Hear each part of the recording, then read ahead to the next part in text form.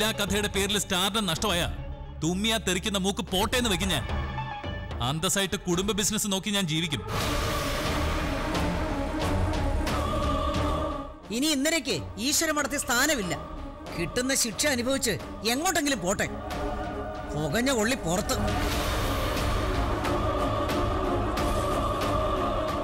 എന്റെയും തീരുമാനം അത് തന്നെയാണ് അവരും ഞാനും ഒരു മേൽക്കൂരയ്ക്ക് കീഴിൽ ഇനി ഒരുമിച്ച് കഴിയില്ല. ഇതിൽ നിനക്കും എന്തെങ്കിലും പങ്കുണ്ടെന്ന് തെളിഞ്ഞ പിന്നെ നീ എന്നെ ഏട്ടാന്ന് വിളിക്കണ്ട. എനിക്കൊന്നും അറിയില്ല. എനിക്കിതിൽ പങ്കുമില്ല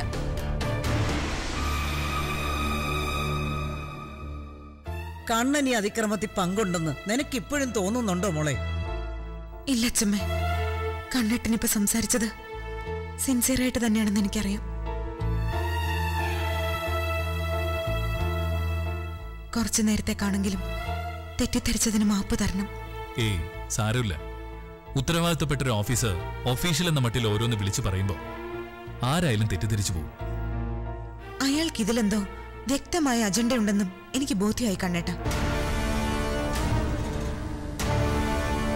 എന്തായാലും അതിനി കയ്യിലിരിക്കേയുള്ളൂ കള്ളത്തെളിവ് ഉണ്ടാക്കി തിരിച്ചു വരട്ടെ അയാൾ.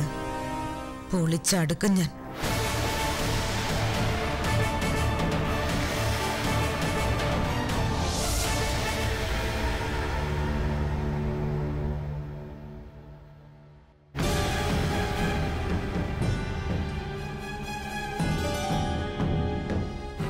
ഞങ്ങൾക്ക് നിങ്ങളെ ഈ കേസിൽ കൊടുക്കണമെന്ന് യാതൊരു ആഗ്രഹവുമില്ല. നിങ്ങളെ കൊണ്ട് ഇത് ചെയ്യിച്ച ആളുടെ പേര് മാത്രം പറഞ്ഞാൽ മതി. എങ്കിൽ നിങ്ങളെ മാപ്പ് സാക്ഷിയാക്കാൻ വരെ ഞങ്ങൾക്ക് കഴിയും. ഞങ്ങളെന്ന് പറഞ്ഞ് എനിക്ക് മനസ്സിലായില്ല. ഓൾ പോലീസ് ഡിപ്പാർട്ട്മെന്റിനെയാണോ സാർ ഉദ്ദേശിച്ചത്? അല്ല എനിക്ക് പിന്നിലുള്ളത് A C P Ashok Kumar Sarah. എന്നെ കൊണ്ട് ചേച്ചി ആളുടെ പേര് പറഞ്ഞ അശോകൻ എന്താ പ്രയോജനം? സോറി അശോകൻ എന്ന് വിളിച്ചതിൽ തെറ്റിദ്ധരിക്കണ്ട. അയാൾ എന്റെ സുഹൃത്താണ്. അറിയാം.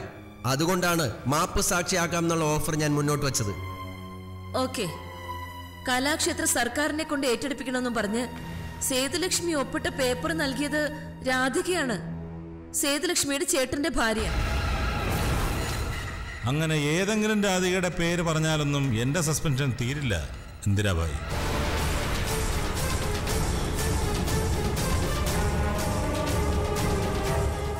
ജീവ തന്നെ പ്ലാൻ ചെയ്ത് നടത്തിയ ഡ്രാമയാണ് ഈ ഏറ്റെടുക്കൽ നടപടിയെന്ന് വരുത്തി തീർന്നു എന്നാൽ എന്റെയും ശ്യാമിന്റെ പേരിൽ ആരോപിക്കപ്പെട്ട കുറ്റങ്ങൾ കോടതി തള്ളിക്കളയൂ. പക്ഷേ അത് ജീവിക്ക് ദോഷാവില്ലേ? എന്താ സംശയം? മനഃപൂർവം സീനുണ്ടാക്കാൻ വേണ്ടി ഞങ്ങൾ ആക്രമിച്ചതാണെന്ന് കോടതിക്ക് ബോധ്യമാവും ചുരുങ്ങിയത് മൂന്ന് വർഷമെങ്കിലും അകത്ത് കിടക്കാൻ അത് മതി.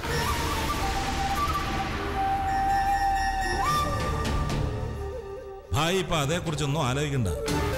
സേതുലക്ഷ്മി ഒപ്പിട്ടെന്ന പേപ്പർ സംഘടിപ്പിച്ചു തന്നതും ഏറ്റെടുക്കൽ നടപടി മുമ്പോട്ട് കൊണ്ടുപോകാൻ സഹായിച്ചതും ജീവയാണെന്നൊരു സ്റ്റേറ്റ്മെന്റ് എഴുതുന്ന മാത്രം മതി. അതോടെ നിങ്ങൾ മാപ്പ് സാക്ഷിയാവും. പിന്നെ ജീവയുടെ കാര്യം. അത് ഞാൻ ഏറ്റു. ഇല്ല. അവൻ എന്റെ മകനാ. അവനെ ചതിക്കാൻ ഞാൻ കൂട്ടു നിൽക്കില്ല. ഇത്തരം സെന്റ് ഡയലോഗൊന്നും എന്നോട് വേണ്ട. വർഷങ്ങളായി വളർത്തുമകനെ നിങ്ങൾ ചതിച്ചുകൊണ്ടിരിക്കുകയാണെന്ന് എനിക്കറിയാം. അയാളുടെ ഭാര്യയെ വ്യാജ റൈഡിൽ കൊടുക്കാനായി എനിക്ക് കൊട്ടേഷൻ നിന്ന ആളാ നിങ്ങൾ എന്നിട്ട് ഇവിടെ നിന്ന് നിങ്ങളെന്താ മാർത്തത്തിന്റെ മകനെ ഏതങ്ങ് പ്രസംഗിക്കണോ അതുപോലെയല്ല ഇത്. ഡയറക്റ്റായി ജീവയ്ക്കെതിരെ മൊഴി കൊടുത്ത പിന്നെ അവൻ എന്നെ വീട്ടിൽ കയറ്റില്ല നിങ്ങൾ എന്താ ധരിച്ചു വെച്ചിരിക്കുന്നത്? ഇത്രയൊക്കെ ദ്രോഹങ്ങൾ കലാക്ഷേത്രയോട് ചെയ്തിട്ടും വീട്ടിലേക്ക് തിരിച്ച് പാട്ടും പാടി കയറി ചെല്ലാമെന്നാണോ? നിങ്ങളെ കസ്റ്റഡിയിൽ എടുത്തിട്ട് ഇത്രയും നേരമായി. ജീവയോ അയാളുടെ ഗ്രാൻഡ് മദറോ ആരെങ്കിലും ഒന്ന് വിളിച്ചു ചോദിച്ചിട്ട് പോലുമില്ല. നിങ്ങളുടെ മകൻ ശിവ മാത്രമാണ്. അമ്മയ്ക്ക് എന്ത് പറ്റിയെന്ന് വെച്ച് സ്റ്റേഷനിൽ വന്നത്. അല്ലടോ? അതെ സാർ. ആ. സ്റ്റേഷനിൽ എത്തുന്നതിന് മുമ്പ് ഇവരെ വിട്ടയക്കാൻ പറഞ്ഞ് മേളിൽ നിന്ന് വെളിവരുമെന്നാണ് ഞാൻ പ്രതീക്ഷിച്ചത്. ഇതുവരെ ഒന്നും വന്നിട്ടില്ല.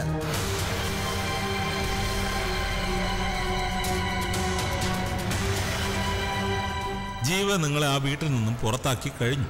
അതാ സത്യം.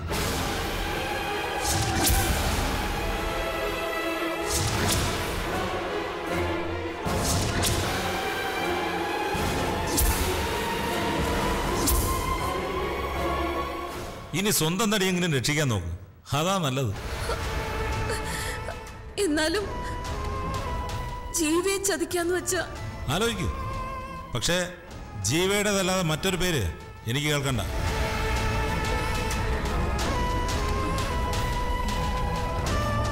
ആദ്യത്തെ ദേഷ്യം മാറുമ്പോ ജീവ എനിക്ക് വേണ്ടി ഇടപെടുമെന്ന് തന്നെയാ എന്റെ വിശ്വാസം. സ്വപ്നം കണ്ടിരുന്നാലേ പ്രധാന പ്രതി നിങ്ങളാണെന്ന് വരുത്തി കേസ് ഞാനങ്ങ് ക്ലോസ് ചെയ്യും. വഞ്ചനാ കുറ്റത്തിന് ജയിലിൽ പോണോ? മാപ്പസാക്ഷി ആണോന്ന് നിങ്ങൾ തന്നെ ആലോചിക്കും. എനിക്ക് എന്റെ മോളോടൊന്ന് സംസാരിക്കണം. അവിടുത്തെ സിറ്റുവേഷൻ എന്താന്ന് അറിയാനാ. ഫോൺ വിളിക്ക്.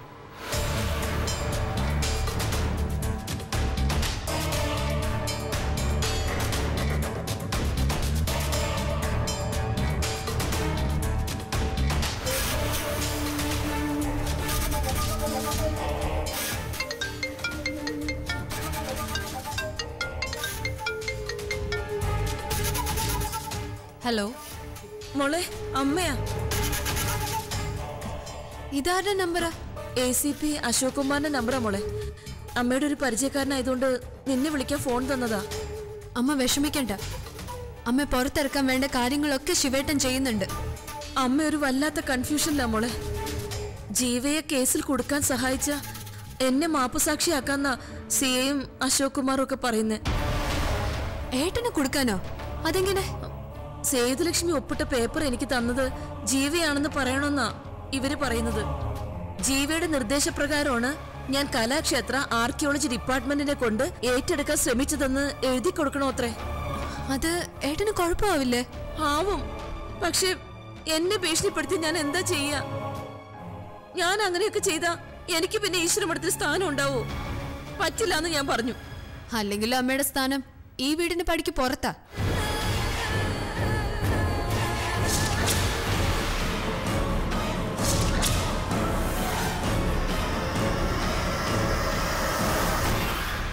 അമ്മ ഇതിനകത്ത് കയറ്റരുതെന്ന് അച്ഛമ്മ തീരുമാനിച്ചു.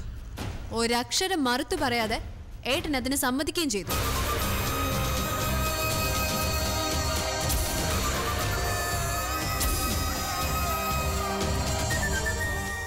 അമ്മ എന്താ ഒന്നും മിണ്ടാത്തത് ഒന്നുമില്ല മോളെ.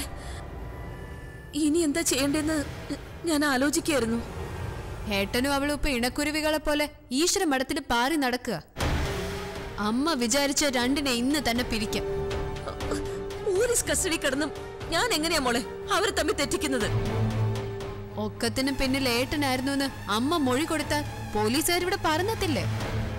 ചോദ്യം ചെയ്യാൻ ഏട്ടന്റെ കസ്റ്റഡിയിൽ എടുക്കില്ലേ?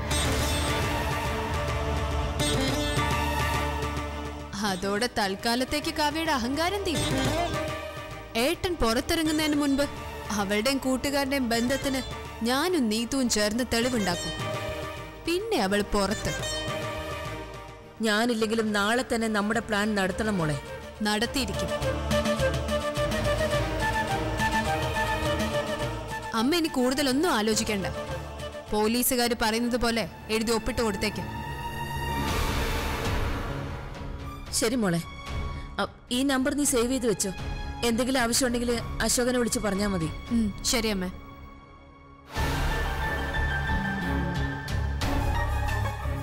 പോലീസുകാർ നിന്റെ അമ്മയോട് എന്തെഴുതി കൊടുക്കാൻ ആവശ്യപ്പെട്ടത്?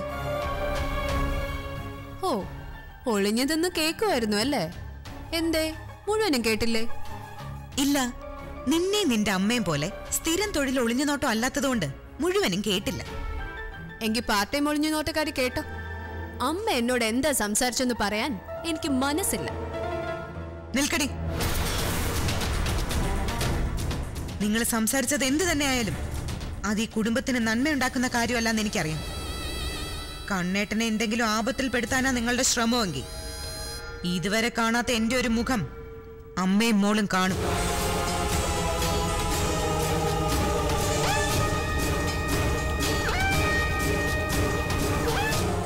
പറയാനുള്ളത് ഞാൻ പറഞ്ഞു കഴിഞ്ഞു.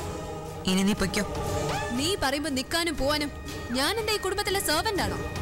അല്ല ഈ കുടുംബത്തിലെ ഒരു അംഗം തന്നെയാ നീ. ഞാൻ ഇവിടുത്തെ ഗൃഹനാഥി എന്റെ കൂടി താല്പര്യങ്ങൾക്കനുസരിച്ച് വേണം ഇവിടുത്തെ അംഗങ്ങൾ പെരുമാറാൻ. തീരുമാനം എന്റേതല്ല അച്ഛമ്മയുടേതാ. എതിർപ്പുകൾ വല്ലതും ഉണ്ടെങ്കിൽ അത് അങ്ങോട്ട് പറഞ്ഞാൽ മതി.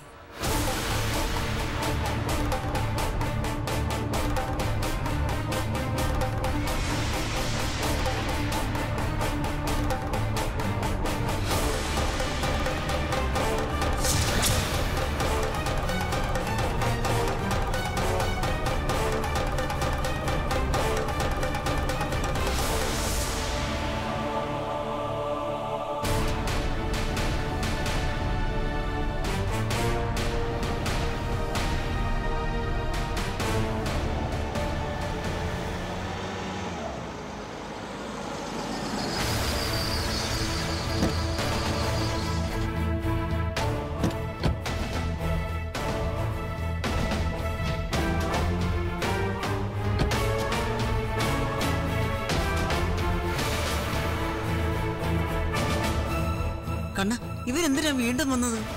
എന്റെ നിഗമനം തെറ്റിയില്ല. സേതുലക്ഷ്മി ഒപ്പിട്ട പേപ്പർ കൊടുത്തതും കലാക്ഷേത്ര ഏറ്റെടുക്കൽ നടപടി ആസൂത്രണം ചെയ്തതും നിങ്ങളായിരുന്നു അല്ലേ? ഞാനോ? അതെ നിങ്ങളുടെ ഇളയമ്മ ആ സത്യം തുറന്നു പറഞ്ഞു കഴിഞ്ഞു. നോ. ചെയ്യാത്ത തെറ്റ് ഞാൻ ചെയ്തു എന്ന് ഇളയമ്മ ഒരിക്കലും പറയില്ല. ചെയ്ത കുറ്റം ഏറ്റുപറഞ്ഞ് വായി മാപ്പ് സാക്ഷിയായി കഴിഞ്ഞു മിസ്റ്റർ ജീവ. ഇത് ചതിയാണ്. അച്ഛമ്മേ കാവ്യേ ഇതൊന്നും വിശ്വസിക്കരുത്. എന്തായാലും തൽക്കാലം നിങ്ങളെ എനിക്ക് കസ്റ്റഡിയിൽ എടുത്തേ പറ്റൂ. നിങ്ങൾ സഹകരിക്കണം. എന്റെ കുഞ്ഞിനെ ഇവിടുന്ന് കൊണ്ടുപോകാൻ ഞാൻ സമ്മതിക്കില്ല. അതെ എന്റെ ഏട്ടൻ ഒരു തെറ്റും ചെയ്തിട്ടില്ല സർ. നിന്റെ ഏട്ടൻ തെറ്റുകാരനല്ല എന്ന് തെളിയിക്കേണ്ടത് നിന്റെയും കൂടി ബാധ്യതയല്ലേ മോളെ? അതെ കാവ്യേച്ചി. എങ്കിലേ ഈ മൊബൈൽ എന്റെ കയ്യിലിരിക്കട്ടെ. ഇതിൽ കാണുന്ന last call Ashok A C P എന്നാണ് നമ്പർ സേവ് ചെയ്തിരിക്കുന്നത്. എന്നുവെച്ച് ആരോപണ വിധേയനായ എ സി പിയും എന്റെ പൊന്നനിയത്തിയും തമ്മിൽ എന്തെങ്കിലും ഒരു കണക്ഷൻ ഉണ്ടെന്ന് ഞാൻ പറയില്ല. എ സി പി സാറിന്റെ ഫോണിൽ നിന്നും ഇവളെ വിളിച്ചത് ഇവളുടെ അമ്മയായിരുന്നു.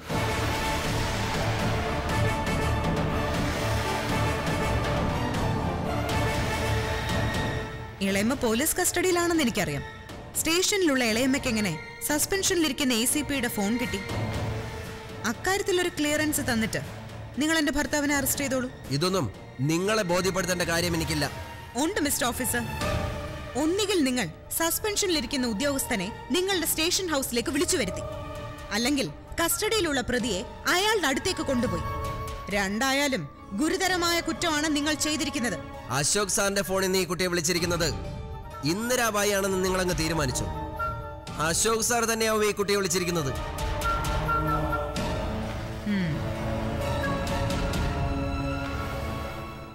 ഇപ്പോൾ പന്ത് നിന്റെ കോട്ടിലാണ് ശിവാനി.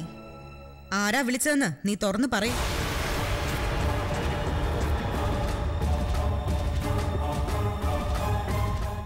എ സി പി ആണ് വിളിച്ചതെന്ന് നീ പറഞ്ഞാൽ നിന്റെ ഏട്ടനെ കള്ളക്കേസിൽ കുടുക്കാൻ ശ്രമിച്ച അയാളുമായി നിനക്ക് എന്താണ് ബന്ധമെന്ന് നീ വ്യക്തമാക്കേണ്ടി വരും.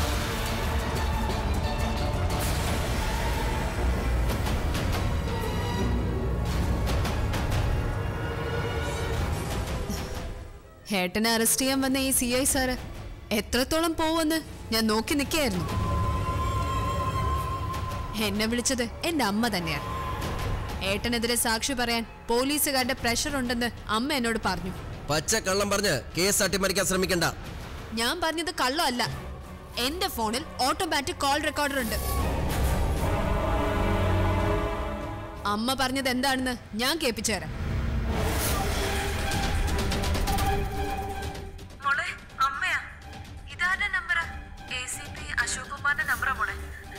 അമ്മയുടെ ഒരു പരിചയക്കാരനായതുകൊണ്ട് നിന്നെ വിളിക്കാൻ ഫോൺ തന്നതാ.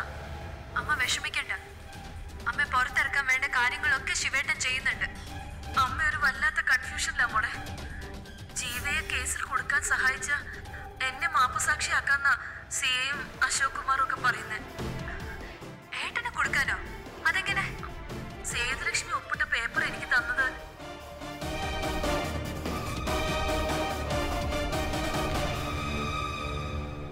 ഈ ഫോൺ വോയിസ് ഞങ്ങളുടെ കയ്യിൽ ഉള്ളിടത്തോളം കാലം. എന്റെ ഭർത്താവിനെ കസ്റ്റഡിയിലെടുക്കാൻ നിങ്ങൾക്ക് ധൈര്യമുണ്ടോ? ഉണ്ടെങ്കിൽ കൊണ്ടുപോ. ഇദ്ദേഹം സ്റ്റേഷനിൽ എത്തുന്നതിന് മുൻപ് നിങ്ങൾക്കുള്ള സസ്പെൻഷൻ ഓർഡർ ഞാൻ റെഡിയാക്കിയിരിക്കും. കാവ്യ പറയുന്നത്.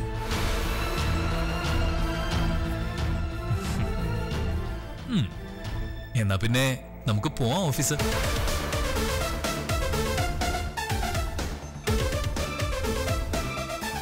അയ്യോ അങ്ങനെ പോലെ എന്നെ കൂടെ കൊണ്ടുപോ പ്ലീസ് അയ്യോ ഓഫീസർ എന്നെ കൂടെ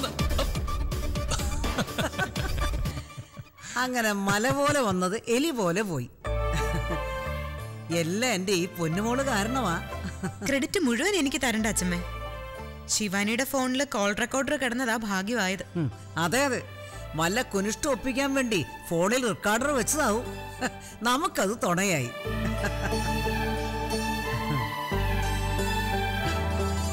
ഷഷ്ടി നോറ്റ് തുടങ്ങിയപ്പോ തന്നെ ഓരോരോ മാരണങ്ങൾ ഒഴിവായി പോകുന്ന കണ്ടില്ലേ? ആദ്യം ഇന്ദിര ഇപ്പതേ ഇതും.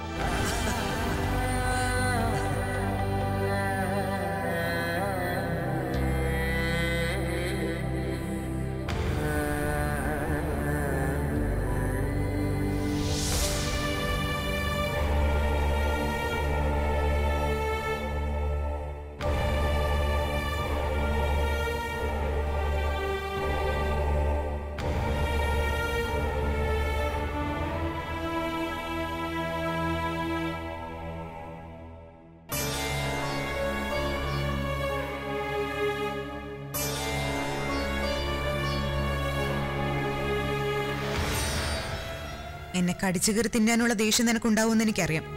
പക്ഷെ എന്ത് ചെയ്യാനാ? നിന്റെ ഏട്ടനെയോ ഈ കുടുംബത്തെയോ ഒറ്റിക്കൊടുക്കാൻ നിനക്ക് സാധിച്ചേക്കും. എനിക്കത് പറ്റില്ലല്ലോ. നിങ്ങൾ കൂടുതൽ വാചകമൊന്നും അടിക്കണ്ട. ഏട്ടനെ രക്ഷിക്കാൻ ഒടുവിൽ ഞാൻ തന്നെ വേണ്ടി വന്നില്ലേ? സമ്മതിച്ചു. നീ തന്നെയാ നിന്റെ ഏട്ടനെ ഇന്ന് രക്ഷിച്ചത്. പക്ഷേ എന്താ നീ ആ കോൾ മുഴുവൻ കേൾപ്പിക്കാതിരുന്നത്?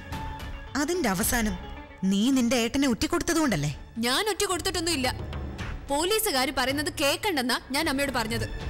ആണോ? ഒന്നുകൂടി ആലോചിച്ച് നോക്ക്. ആലോചിക്കാൻ ഒന്നുമില്ല. ഞാൻ പറഞ്ഞത് എന്താന്ന് എനിക്ക് വ്യക്തമായിട്ട് അറിയാം. ഈ നിമിഷം ഞാൻ ഉറക്കി ഒന്ന് വിളിച്ചാ. കണ്ണേട്ടൻ ഇവിടെ ഓടിയെത്തും. എന്നിട്ട് ഞാൻ ആ ഓഡിയോ ഒന്നുകൂടി പ്ലേ ചെയ്യട്ടെ? അയ്യോ വേണ്ട. നീ പേടിക്കണ്ട. നിന്നെ ദ്രോഹിക്കണമെന്ന ആഗ്രഹം എനിക്ക് തീരെയില്ല. കാരണം നിന്നെ ഇനിയും സ്നേഹിക്കാൻ കഴിയുമെന്നുള്ള വിശ്വാസം എനിക്കിപ്പോഴും ഉണ്ട് എനിക്ക് നിന്റെ സ്നേഹം വേണ്ട. നിന്നോട് സന്ധി ചെയ്ത് എനിക്കിവിടെ ജീവിക്കാൻ വേണ്ട. ഏട്ടനെ വിളിക്ക്. ആ ഫോൺ സംഭാഷണം കേൾപ്പിക്ക്. ഞാൻ എത്രത്തോളം ദുഷ്ടയാണെന്ന് ഏട്ടൻ അറിഞ്ഞോട്ടെ? എന്നാലും എന്റെ സിദ്ധുവിനെ എന്നിൽ നിന്ന് തട്ടിയെടുത്ത് കീർത്തിക്ക് സമ്മാനിച്ച നിന്നോട് ഒരു കോംപ്രമൈസും ഇല്ല. ഓക്കെ നീ എന്നോട് കോംപ്രമൈസ് ചെയ്യണ്ട.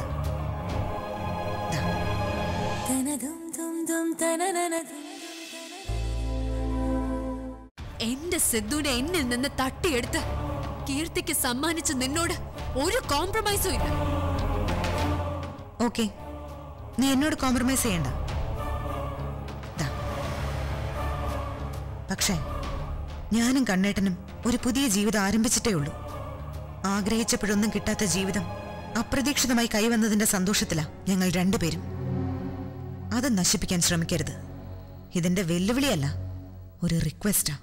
ഞാൻ നിന്റെ റിക്വസ്റ്റ് തള്ളിക്കളഞ്ഞിരിക്കുന്നു. പകരം വെല്ലുവിളിക്കുക ഏട്ടനും ഒത്തുള്ള നിന്റെ സുന്ദര നിമിഷങ്ങൾ മതിയാവോളം ആസ്വദിച്ചോ നീ? ഇനി അതിനധികം ആയുസില്ല അത് നിന്റെ തോന്നല. പരിഹാസത്തോടെ നീ പറഞ്ഞ ആ സുന്ദര നിമിഷങ്ങൾ സ്വന്തമാക്കാൻ വേണ്ടി ഞാനൊന്നും ചെയ്തിട്ടില്ല. എനിക്കും കണ്ണേട്ടനുമിടയിൽ സ്നേഹത്തിന്റെ നൂലിഴ കോർത്തത് വിധിയാണെങ്കിൽ അതേ വിധി തന്നെ ഞങ്ങളുടെ സ്നേഹത്തെ കാത്തു സൂക്ഷിച്ചോളൂ. ഞങ്ങളെ പിരിക്കാൻ ശ്രമിച്ച നിന്റെ അമ്മ ഇപ്പൊ ലോക്കപ്പില്ല എന്റെ സ്ഥാനം തട്ടിയെടുക്കാൻ വന്ന നിന്റെ കൂട്ടുകാരിയെ എന്നേക്കുമായി കണ്ണേട്ടൻ അകറ്റി. അടുത്ത തിരിച്ചടി നിനക്ക. അതുണ്ടാവാതെ സൂക്ഷിച്ചോ നീ. അമ്മ ചെയ്ത തെറ്റിന് ഞാൻ മാപ്പ് വയ്ക്കേട്ടതി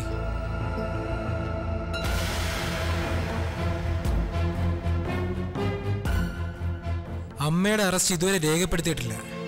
ചോദ്യം ചെയ്യൽ തുടരുകയാണെന്ന് സി എ പറയുന്നത്. ഇനി നാളെയോ മറ്റന്നാളോ അറസ്റ്റ് രേഖപ്പെടുത്തിയാൽ തന്നെ ഇരുപത്തിനാല് മണിക്കൂറിനകമേ കോടതിയിൽ ഹാജരാക്കും. അവിടുന്ന് ജാമ്യം കിട്ടും.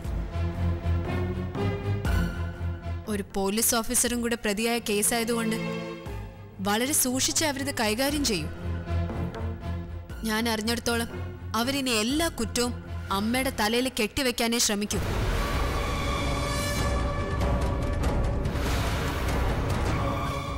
അമ്മയെ രക്ഷിക്കാൻ കടുത്ത പ്രയോഗങ്ങൾ വേണ്ടിവരും.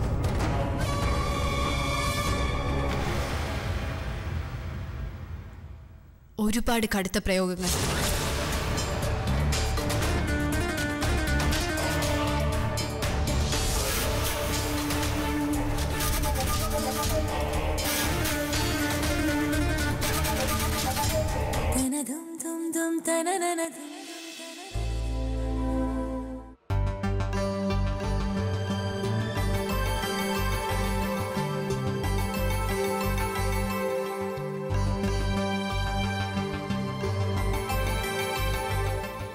അച്ഛമ്മ വിളിച്ചത്? തുളസിയിലയിട്ട വെള്ളം കുടിപ്പിച്ച് കാവ്യമോളുടെ ഉപവാസം അവസാനിപ്പിക്കണം. നിന്റെ കൈകൊണ്ട് വേണം ഇതവളെ കുടിപ്പിക്കാൻ.